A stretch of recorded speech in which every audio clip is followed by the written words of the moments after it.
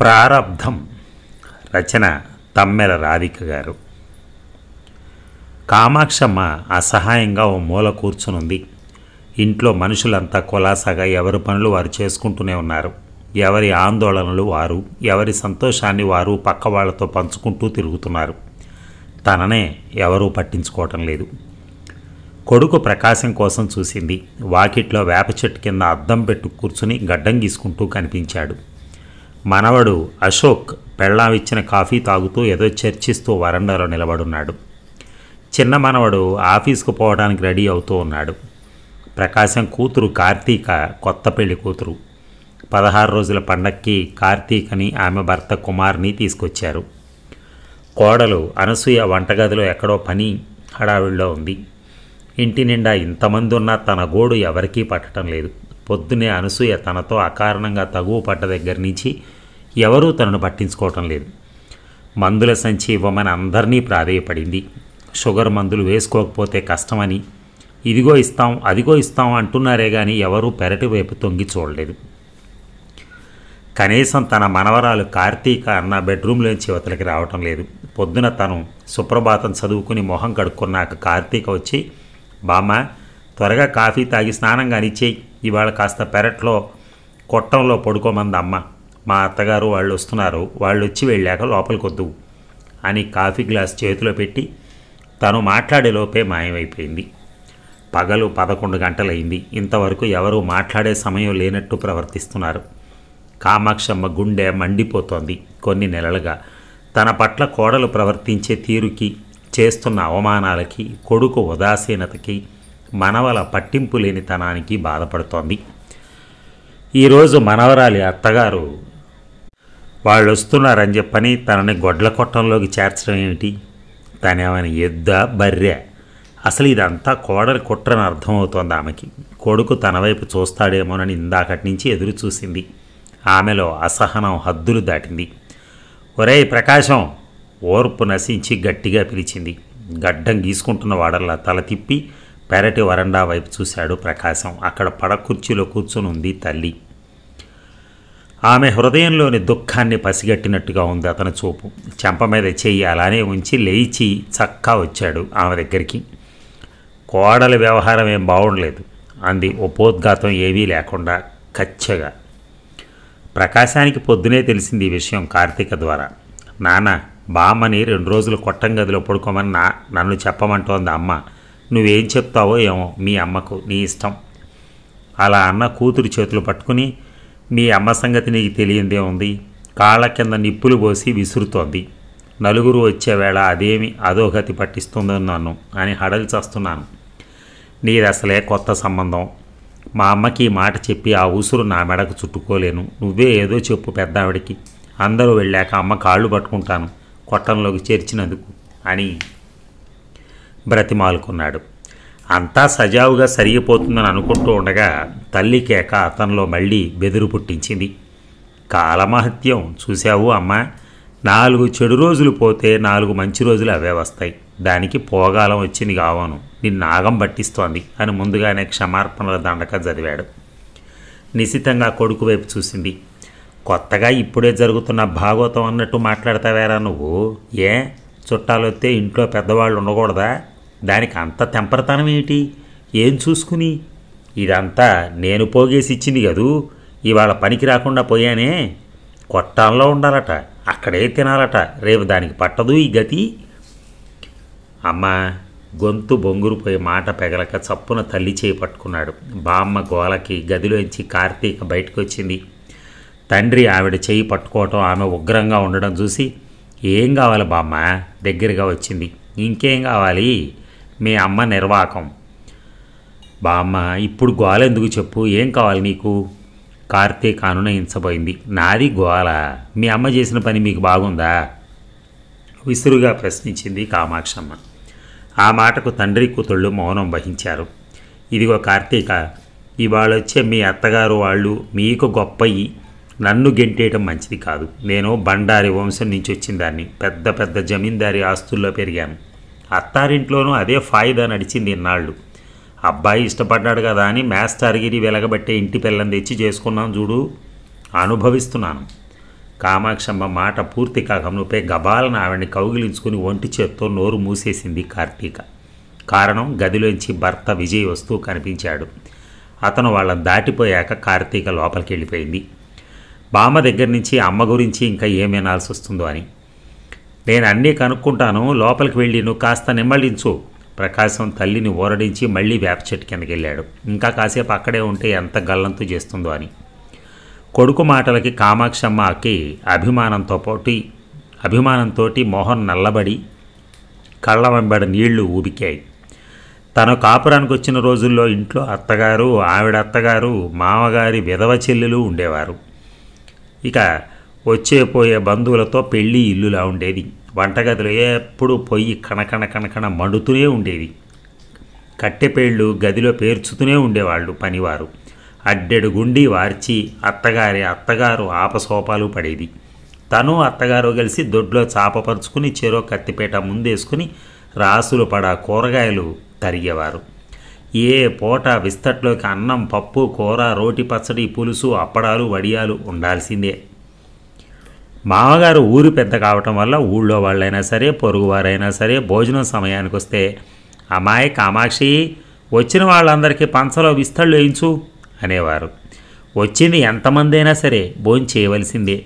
అందరి భోజనాలు అయ్యి వంటిల్లు సర్దుకోవడం కూడా అయ్యాక అత్తగారు ఆవిడ ఆడపడుచు ఒక్క కునుకు తీసి పెత్తనాలకి పక్కిళ్ళకి వెళ్ళేవాళ్ళు తనకు ఒత్తులు చేయటం విస్తళ్ళు కొట్టడం నేర్పటం వల్ల మధ్యాహ్నం అవి చేసుకుంటూ కూర్చుంటే ముసలావిడొచ్చి అత్తగారి మీద ఉన్నవి లేనివి చెప్తూ కాలక్షేపం చేసేది.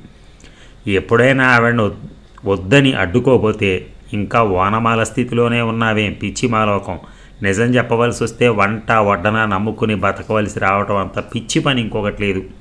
శ్రమ కాలహరణం తప్ప అనేది మరి ఏం చేయాలండి అని తాను అమాయకంగా అడిగితే నా మనవణ్ణి తీసుకుని మీ వాళ్ళ దగ్గరికి వెళ్తే ఏదో పని చూపిస్తారు. ఇక్కడ ఒకళ్ళ మీద ఒకళ్ళ మాటల మీద పైకి రావాలని చూసేవారే ఎక్కువ.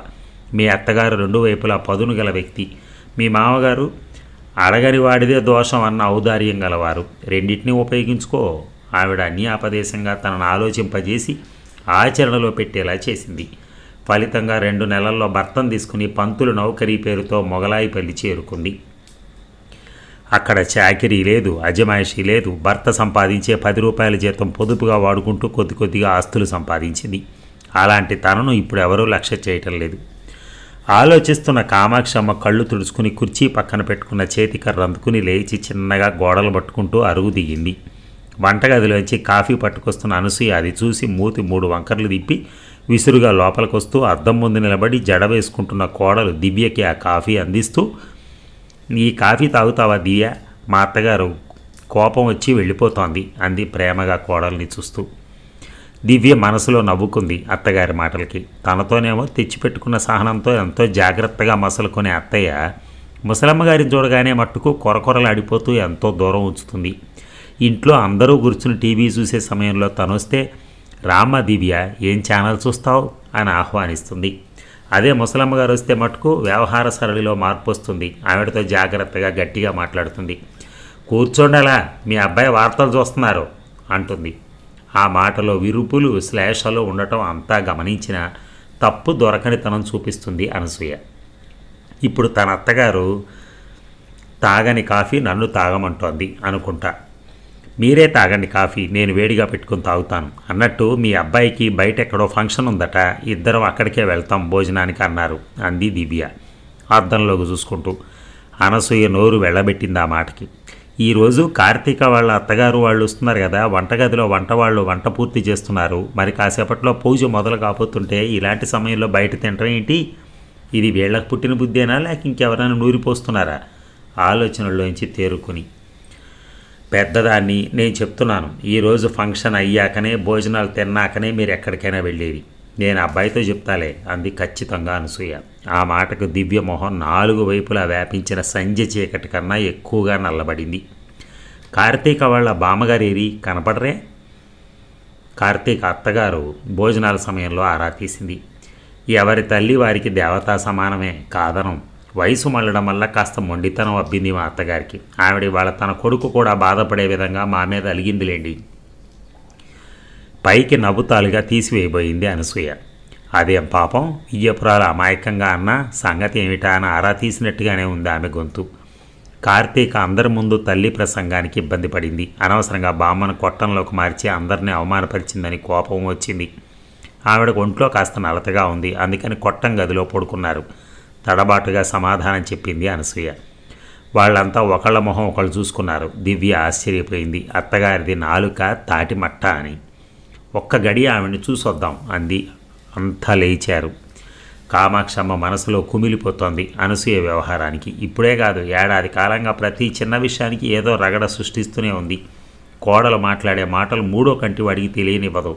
తను ఒక్కతే ఉన్నప్పుడు ఒక్క మనిషికి చేయటానికి ఎంతమంది కావాలి? ఇంట్లో పిల్లల్ని నిమిషం నిలవనివ్వక బయటికి తరుగుతారు ఎవరూ లేనిది చూసి విరుచుకుపడేది. నన్నేమి రథాల్లో కూర్చోబెట్టి తిప్పట్లా నీ కొడుకులు? నేను కన్నవాడే చేస్తాడు నాకు. నాకు నీకెన్ నీ కింద బతకమని ఆ పైవాడు రాసిపెట్టే ఉన్నట్టున్నాడు దాటిగానే అనేది ఆవిడ. ఇంకా ఏ మర్యాదలు తక్కువ అయ్యాయి అడ్డమైన సపరీలు చేస్తూనే ఉన్నాగా. ఇంటిల్లిపాదీను చేసుకున్న వాళ్ళకి చేసుకున్నంత అని మేమేం అత్తలను వదిలి వేరు కాపురాలు వెలిగించలా? ఎక్కడో తగిలినట్టు చొరక వేసేది అనసూయ. ఓసిని అఘాయిత్యం గోల. నౌకరీ వచ్చింది గనకనే వేరుగా వచ్చామని ఎన్నిసార్లు చెప్పాను నీకు? పాపపు మాటలు మాట్లాడావా? మర్యాద దక్కదు. ఓ మర్యాదట మర్యాద. నా పాపం బుగ్గైపోయింది. కనుకనే ఇలాంటి మర్యాదస్తులు ఇంట పాలుపడ్డాను. చేతులు గాలిలోకి విసిరేది అనసూయ. ఏం తెగులైందమ్మా నీకు ఇక్కడ వెనకట మేము కష్టాలు పడ్డ కష్టాలు మీకు లేవు గనక కళ్ళు నెత్తికిక్కాయి. కాస్తంత పిండం వేయటానికి నీ మాటలు పెడతావా? నీకు ఇది మంచిది కాదు. శాపాలు పెడుతున్నారా? శాపాలు? మీ అత్తగారిని ఎంత రొస్టు పెట్టారో ఎరగం మేము. రోస్టేం పెట్టలా? ఆవిడంత కజ్జాకోరు మనిషో ప్రపంచం అంతా తెలుసు. చేతగాని రోజుల్లో నా దగ్గరకు వచ్చినా అరవ చాకిరీ చేశాను. నీలాగా మాటక మాట అన్నడు అనెరగను. నోరెత్తకుండా కాపురం చేశాను. చేస్తే చేశారేమో నాకు అలా కుదరదు. చెప్పినట్టు వినాలి చచ్చినట్టు పడుండాలి అని కచ్చగా అనేది అనసూయ. బలం ఉంది కదా అని తెంపరతనమైనా నీలాంటి దాని కింద అత్తముండలు బతకాల్సిన రోజులుగా అవి ఇవి. మాటకు మాట అంటించిన అనసూయ ఇదే పైచేయి. వాదన వచ్చిన రోజున మరీ హీనంగా ఉండేది కామాక్షమ్మ పరిస్థితి. ఆనాటి నుంచి అత్తాకోడలకు ఉప్పు నిప్పుగానే ఉంది. చీటికి మాటికి కయ్యానికి కాలు దూతుంటే ఇంట్లో వాళ్ళు మొదట్లో ఇద్దరికీ సర్ది చెప్పేవారు. రాను రాను వాళ్ళు పట్టించుకోవడం మానేశారు. అనసూయ పెత్తనం కింద రోజులు వెళ్ళదీయటం దుర్భరంగా ఉంది కామాక్షమ్మకి. తల్లిని అనద్దని గొడవలు పెట్టుకుంటే ఇంటి పరువు పోతుందని ప్రకాశం భార్యకు నచ్చజెప్పబోతే వీధిని పడితే నా ఒక్కదాని పరువే కాదుగా మీ అందరిది పోతుంది. కనుక పెట్టింది దీని పడుండమని చెప్పండి ఆవిడికి. కఠినంగా ఆనాడే చెప్పేసింది అనసూయ. అప్పటి నుంచి ప్రకాశం ఇద్దరి విషయంలోనూ మిన్నకుండిపోయాడు. బంధువులంతా కొట్టం గదిలోకి వెళ్ళారు. కామాక్షమ్మ మొహం మీద దుప్పటి కప్పుకుని పడుకొనుంది. ఆవిడ తెచ్చిన భోజనం కంచంలో అలాగే ఉంది. పైన వేసిన విస్తర ఎగిరిపోయిందేమో ఈగలు జుయ్యమంటున్నాయి. భోజనం చేసినట్లు లేరు మామగారు. వియ్యపురాలు లోపల తమాషా పడుతోంది. అత్తగారి వ్యవహారం చూసి రగులుకు పోయింది అనసూయ. అందరూ వచ్చేసరికి గుట్టుచప్పుడు కాకుండా తినేస్తుంది అనుకుంది అలికిడికి ముసుగు తీసి అందరినీ చూసింది కామాక్షమ్మ మామగారు భోంచేసినట్లేదు మీరు? మిమ్మల్ని చూద్దామని ఇలా వచ్చాం. వాళ్ళ మాటలకి ఆమె కళ్ళల్లో నీళ్ళు గిర్రం తిరిగాయి. తను హుందాగా అందరిలో కూర్చుని మాట్లాడదగ్గది కాదనే కదా కోడలి పనిచేసింది అందరి ముందు. అందుకే భోజనం చేయబుద్ధి కాలేదు. నన్ను చూడాలనిపించింది సంతోషం. మీరంతా భోజనాలు చేశారా? అడిగింది కామాక్షమ్మ. బయట అలా వరండాలో పడుకోకపోయారా? చల్లగా గాలేస్తోంది. వాళ్ళ మాటలకి విరక్తిగా నవ్వింది. ఏ క్షణాన్నో ప్రాణం పోతే బూడిదయ్యేదాన్ని. ఎక్కడ పడుంటే ఏమిలే అమ్మా ఆవిడ మాటలకు ఆశ్చర్యపోయారు వాళ్ళు. మా అత్తయ్య గారి వ్యవహారం అంతేలేండి. ఇద్దరికీ ఉప్పు నిప్పును. ఏ ఎప్పుడు? పోన్లే పెద్దదని అత్తయ్య అనుకోదు. కోడలే కదా అని ఊరుకుందామని ఆవనుకోదు దివ్య చిన్నగా అనటం కార్తీక చెవిన పడింది. ముఖం నల్లగా పెట్టుకుని ఇంట్లోకి వెళ్ళిపోయింది. కోడలి మాటలకు నిశ్చేష్టులు అయింది అనసూయ. ప్రకాశం నట్టింట్లో పేల్చిన బాంబు సామాన్యమైంది ఏం కాదు. కుటుంబ సభ్యులంతా తెల్లమోహం వేసుకుని కూర్చున్నారు. అనసూయ గారికి అనసూయకి అత్తగారి మీద పడి రక్కియ్యాలనుంది ప్రకాశం వాలకం రౌద్రంగా ఉండటం గమనించి ఏం మాట్లాడితే ఏమోనని నోరు కట్టుకుంది. తల్లి ఇంట్లో ఉండటానికి ఇష్టపడటం లేదని తన వాటా డబ్బు వృద్ధాశ్రమంలో కట్టి అక్కడ ఉండటానికి ఏర్పాటు చేయమన్నదని చెప్పాడు అందరికీ. ఎవ్వరు ఏం మాట్లాడకపోయేసరికి తనే నోరు విప్పింది అనసూయ. దొంగలెత్తాలా? దోళాలెత్తాలా? కృష్ణారామ అంటూ కూర్చోవడమే కదా ఆవిడని చేయమంది? ఏం వండుకోమంటున్నామో ఏం తింటున్నామో రెండో కంటి వాడికి తెలియనిస్తున్నామా ఊళ్ళో ఇన్ని చుట్టాల కొంపలు ఉన్నాయి ఏ ఇంట్లోనైనా ఇలాంటి రగడుందా? అని ఉక్రోషంగా అంది. నువ్వు నోరు మూసుకోవు కదా ఇంకెలా చల్లారుతుంది రగడ? ప్రకాశం అరిచాడు. అత్తాకోడళ్ళు అన్నాక ఎన్నైనా ఉంటాయి. ఈవిడ దగ్గర ఉన్న కొయ్యతనం ఇంకెవరికైనా ఉందా? మీ అమ్మగారికి అసలు సాగొస్తోంది బాగా. మంచి మట్టి గడ్డలు లేకుండా వృద్ధాశ్రమాలకు వెళ్ళటం ఏంటి? ఇది ఆవిడకి పుట్టిన బుద్ధేనా లేక మీరు కూడా చెనవరుమి నీ బుద్ధి బూడిదగాను. ఆమె నిన్నడూ ఓర్చావు? నలుగురిలో ఉండాలని కోరుకునే వెనకడతరం మనిషి ఆమె. పెద్దదని చూడకుండా నీ ఇష్టానికి ప్రవర్తిస్తున్నావు అన్నాడు కంట్లో నీరు చిప్పిల్లుతుంటే కామాక్షమ్మ నాలుగు సైను పంచెలు కప్పుకునేందుకు రెండు చద్దర్లు స్టీలు చెంబు దగ్గర పెట్టుకుని కొట్టం ముందు కూర్చుంది. ఆవిడకని పంపిన కాఫీ గ్లాస్ అలాగే ఉంది ఖాళీ కాకుండా. కొడుకు ముందర కోడలతో తిట్లు తినటం భరించరాకుండా అవమానంగా ఉంది ఆమెకి. ఎన్నో తలపోతలు మనసును చిందర వందర చేస్తున్నాయి నానాగడ్డి దీని అట్టే పెట్టింది సొమ్ము. తను కొడుకు సంసారం పెరగాలని ఎంతో కష్టపడింది. ఎప్పుడు కూడా చేతులు ముందుకు పెట్టుకుని కూర్చోాల ఏం చేస్తే అభివృద్ధిలోకి వస్తామా అని సుంకుపేటలో ఉన్న అత్త మగారులని అత్త మామగారులని తన వద్దకు పిలుచుకుని అక్కడ ఇల్లు అమ్మించి రెండు సంవత్సరాలు లేకుండా చేసింది. అక్కడ పొలాలు అమ్మి ఇక్కడ చవకలో చాలా ఫ్లాట్లు తీసుకుంది. పెద్ద మనుషులు మంచాన పడితే దగ్గరుండి వాళ్ళకి సేవ చేసింది.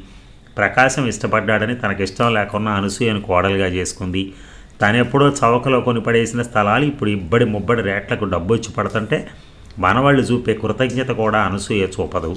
తనకింట్లో ఏ ప్రత్యేకత లేకుండా చేయటంలో కోడలు విజయం సాధించింది. కళ్ళెదురుగా కనపడే మనవళ్ళు మనవరాలు కొడుకు కోడలు ఏవీ కూడా తనకిప్పుడు ప్రేమబంధాలుగా కనపడటం లేదు. ఇంత బతుకు బతికి చివరికి కోడలు చేతిలో అనామకంగా చచ్చే కంటే కొడుకు మీద ప్రేమను చంపుకునైనా వృద్ధాశ్రమంలో ఉండాలని కఠినమైన నిర్ణయం తీసుకుంది. కామాక్షమ్మ తల విదిలించి సంచి పట్టుకుని లేచింది ఇంటివైపు చూడకుండా. తల్లి వెనకే నడుస్తున్న వాడల్లా వెనక్కి తిరిగి చూశాడు ప్రకాశం. తల్లి కామాక్షమ్మ ఇంటి ముందుంది. గేట్లో భార్య అనసూయ ఉంది ఆ వెనక ఇంటి వాకిట్లో కోడలు దివ్య నిలబడుంది. నన్నంటారే ఆవిడ మాత్రం అనసూయ ఏదో అనబోతుండగానే ఊరుకోమన్నట్టు చేయి గాలిలో కూపాడు. పెద్దది బతికితే ఏడాదో రెండేళ్ళలో కాస్త సర్దుకుపోతే పోయేదానికి అమ్మని ఇంట్లో ఉండకుండా చేస్తున్నావు. ఈ గో గేట్లో ఇచ్చి నిన్ను దాటించే అవకాశం నువ్వే నీ వెనక వాళ్ళకి ఇచ్చావు తల్లి సంచి ఆటోలో పెట్టి లోపలికి సరి కూర్చుంటూ అన్నాడు ప్రకాశం నీరు నిండిన కళ్ళతో శాపం పెడుతున్నట్టుగా. చివరికి కథ అలా ముగిసింది. అందరూ కలిసి ఆమెను వృద్ధాశ్రమం పంపడానికి ప్రయత్నాలు కంప్లీట్ చేశారు. Thank you very much. ధన్యవాదాలు.